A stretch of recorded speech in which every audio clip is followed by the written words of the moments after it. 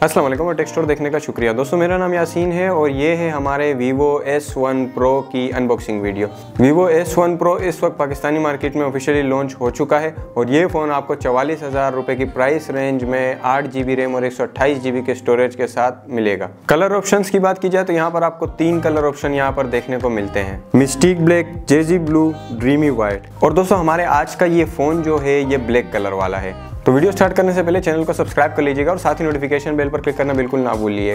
उसके अलावा आप हमें इंस्टाग्राम और एफ़ दोनों पर फॉलो कर सकते हैं। तो चलिए वीडियो की शुरुआत करते हैं।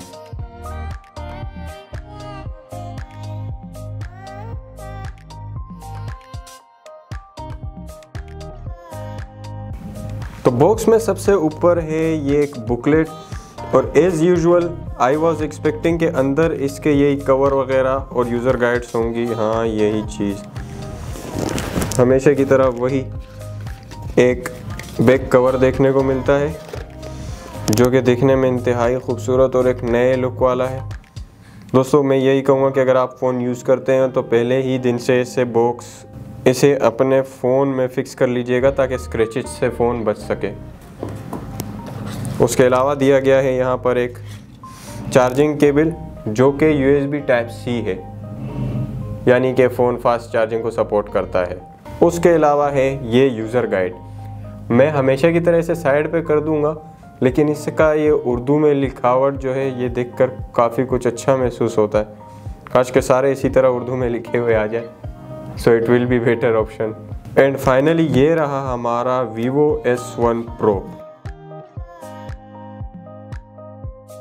ये रहा एक चार्जर, जो कि 5 वोल्ट एंड 2 एम्पेयर का चार्जर है, और उसके अलावा लास्ट में है वीवो की अपनी हैंड फ्री तो स्टार्ट करते हैं बिल्ड एंड लुक से। बिल्ड एंड लुक की बात की जाए तो यहाँ बैक पर आपको चार कैमरा देखने को मिलते हैं। उसके अलावा एक एलईडी फ्लैश दिया गया है।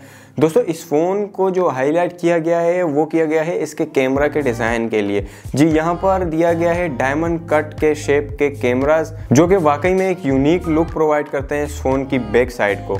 उसके अलावा नीचे की तरफ़ एक ब्रांडिंग की गई है, जिसपे लिखा है डिज़ाइन बाय वीवो उसके अलावा राइट साइड की बात की जाए तो यहाँ पर पावर ऑन ऑफ़ और वॉल्यूम कम ज़्यादा करने के बटन है, जब जबकि लेफ़्ट साइड की बात की जाए तो यहाँ पर आपको ड्यूल सिम्स ट्रे देखने को मिलती है। नीचे की तरफ़ एक स्पीकर एक माइक्रो यूएसबी टाइप सी की चार्जिंग पोर्ट देखने को मिलती है।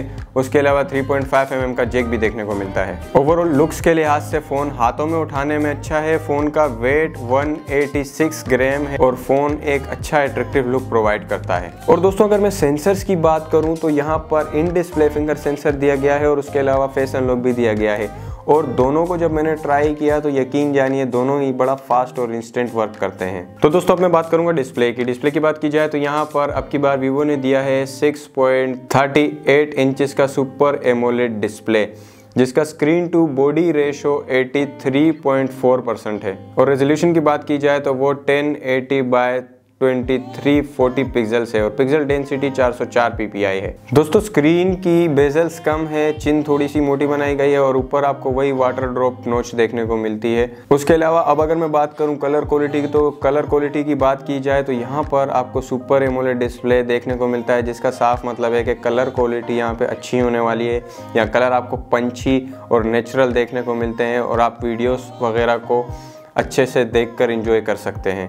तो ओवरऑल डिस्प्ले के लिहाज से भी फ़ोन काफ़ी अच्छा बनाया गया है। और दोस्तों, अब बात करेंगे फ़ोन के परफॉर्मेंस पे। परफॉर्मेंस की बात की जाए तो यहाँ पर अब की बार वीवो ने चॉइस किया है स्नैपड्रैगन 665 का ऑक्टाकोर प्रोसेसर और एड्रीनो 612 का जीपीयू और ये फ़ोन एंड्रॉयड 9.0 पाई के साथ शिप होता है, जबकि इसमें वीवो की अपनी यूआई यानी के फन टच 9.2 लगाई गई है। इन स्पेसिफिकेशंस के साथ मैं आपको ये बता दूँ कि इस फ़ोन की परफॉर्मेंस अच्छी होने वाली है।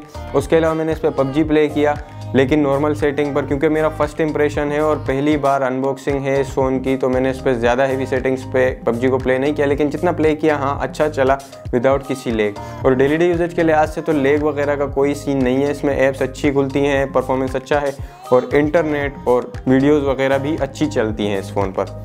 तो परफॉर्मेंस के लिहाज से अब तक के लिए मुझे कोई इशू नहीं है। और अब आता हूँ उस पॉइंट पे जिस पॉइंट की वजह से इस फ़ोन को अब की बार इतनी हाईलाइट किया गया है। जी, इसका कैमरा कैमरा का जो शेप बनाया गया है, वो डायमंड कट बनाया गया है और वही इसका मेन पॉइंट है।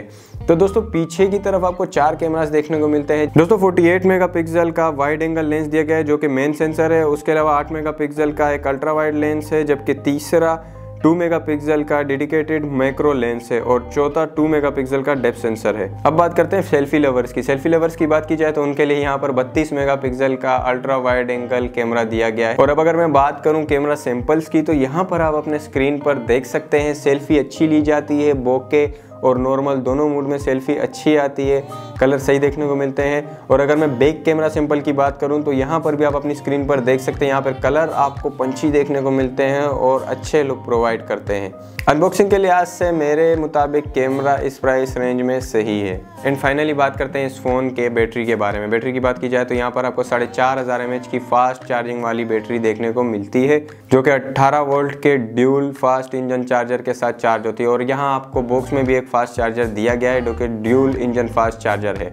मतलब एक डेढ़ घंटे के अंदर अंदर आपकी बैटरी पूरी चार्ज हो जाएगी और अगर आप नॉर्मल यूज़र हैं तो एक से डेढ़ दिन आप इस फ़ोन को ईजिली मैनेज कर सकते हैं इसकी बैटरी लाइफ को। तो बस दोस्तों, चवालीस की प्राइस रेंज में ये फ़ोन आप लोगों को कैसा लगा, हमें ज़रूर बताइएगा।